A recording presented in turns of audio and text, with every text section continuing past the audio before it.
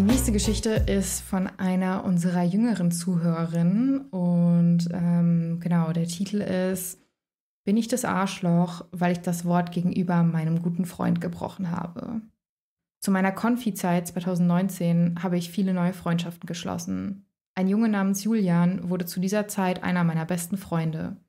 Er litt unter Depressionen, sodass ich ihn 2019 bis 2021 versucht habe, so gut es geht zu unterstützen und selbst viel Stress zu Hause hatte, da ich noch spät abends für ihn unterwegs war, um für ihn da zu sein. Er hatte in der Zeit starke Verlustängste und ich versprach ihm, ihn nie alleine zu lassen. Ich unterstützte ihn auch gegen einige Anschuldigungen, wodurch ich selbst Mobbing-Opfer wurde. Dass das passieren konnte, war mir bewusst, jedoch war mir das egal. In der Zeit wurde die Freundschaft mit meinem jetzigen besten Freund wieder sehr eng. 2020 hatten wir alle eine gute Zeit und auch wenn Julian trotz enger Freundschaft mich manchmal random ersetzte, blieb ich trotzdem an seiner Seite und nahm es ihm nicht übel. Im Winter 2020 wurde ich auf den Geburtstag meiner Kindergartenfreundin Sophie zum Geburtstag eingeladen. Daraufhin haben wir mehr Kontakt gehabt und uns oft getroffen. Julian hat das mitbekommen und ihr per Insta DMs geschrieben. Ich stellte die beiden einander persönlich vor und dann trafen wir uns oft alle gemeinsam. Wichtig ist hier zu wissen, dass ich strengere Eltern hatte als die anderen, weshalb ich auch nicht bei den Jungs übernachten durfte. Juni 2021 kamen Julian und ich uns dann näher und führten für wenige Tage eine Beziehung. Er hat mir meinen ersten Kuss gestohlen und drei Tage später das Herz gebrochen, weil er sich selbst nicht sicher war und doch keine Gefühle für mich hatte. Er war mir körperlich sehr nah, vielleicht nicht extrem im Vergleich, aber für mich unerfahrenes Küken sehr viel. Das hat mich sehr verletzt. Ich verzieh ihm die ganze Aktion, da die Tage vorher viel Schlimmes bei ihm privat passierte. Meine Freunde sahen das nicht so locker, da er eine Woche vorher mit Sophie rumgeknutscht hatte und es da genau wie mit mir beendet hat, woraufhin Sophie auch völlig fertig war. Nach der Trennung war ich sehr verletzt, wollte mich dennoch ablenken, weshalb ich mich mit einem anderen Jungen traf. Julian und Sophie warfen mir daraufhin vor, dass mein Verletztsein nur gespielt war. Nach den Sommerferien kam ich in die Oberstufe, weshalb ich nicht mehr viel Zeit hatte, mich jedes Wochenende zu treffen. Am Anfang luden sie mich noch ein, aber irgendwann fragten sie nur noch meinen besten Freund, weil ich ja sowieso nichts darf. Mich hat es sehr traurig gemacht. Dann erzählte mir mein bester Freund, dass Sophie und Julian kurz nach unserer Sache eine F Plus begonnen hatten und das, nachdem es bei mir so ein Drama gab, als ich was mit jemand anderen hatte. Die beiden ließen mich dann zusätzlich an meinem Geburtstag sitzen. In Klammern, da sie sich mit meinen anderen Freunden zerstritten hatten, entschied ich mich, nur mit ihnen feiern zu wollen. Und kamen nicht, obwohl ich alles so schön vorbereitet hatte und viel Geld für Kuchen und so weiter ausgegeben hatte. Ich habe sie dann auch mal auf die F Plus angesprochen. Da wurde ich jedoch nur belogen und es wurde gesagt, dass überhaupt nichts zwischen den beiden wäre.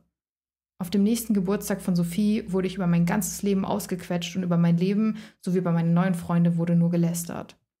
Ende 2021 ging es dann so weit, dass ich die Freundschaft zu den beiden beenden musste. Auf Apps, die ich nicht blockierte, wurde ich beleidigt und mir wurde vorgehalten, dass ich eine Lügnerin wäre, weil ich mein Wort gegenüber Julian nicht gehalten und nicht geblieben bin. Ich frage mich, ob das stimmt. Fun Fact: Sophie und Julian sind seit knapp fünf Monaten auch offiziell in einer Beziehung. Autsch. Mies, ne? Voll. Ey, erstmal tut mir ganz doll leid, was du da für eine Erfahrung machen musstest. Denn das ist einfach, das ist richtig doof. Du warst, in dem Moment warst du für jemanden da, der dich ganz dringend gebraucht hast. Und in dem Moment, wo du diese Person ganz dringend gebraucht hast, wurdest du verlassen. Und das nicht nur von dem Typen, sondern auch noch von einer Freundin. Und das tut richtig weh. Mhm. Also, ja. Und du bist, also, du bist auf gar keinen Fall ein Arschloch. Deswegen, ne? Und ich, ich bin auch der Meinung, ich finde es total krass, wie das Ganze hier abgelaufen ist, dass sie auch so geschämt wurde, weil sie sich mit jemandem ablenken wollte, obwohl die beiden dann miteinander genau das Gleiche machen. Das finde ich ist auch einfach so ein Unding, was einfach meiner Meinung nach gar nicht geht und wo ich finde, sie sich auch echt keine Vorwürfe machen soll. Es klingt, also ich, ich will jetzt nicht urteilen, aber es klingt für mich so ein bisschen, sogar so ein bisschen bösartig, auch das mit ja. dem Lästern und dem Ausgrenzen und so. Ja. Ich finde, dass sie sich da auch gar keine Schuldgefühle machen muss, weil in dem Moment, in dem sie gesagt hat, sie ist für ihn da, war sie ja auch für ihn da. Aber Menschen ändern sich. Also ich kann halt auch, das, das sage ich auch immer beim Heiraten, also jetzt kurzer Topic-Switch, aber wo ich mir so denke, ich kann sagen, dass ich dich liebe, aber ich tue mich schwer zu sagen, ich werde dich bis ans Ende meines Lebens lieben oder dass wir bis ans Ende unseres Lebens zusammen sind.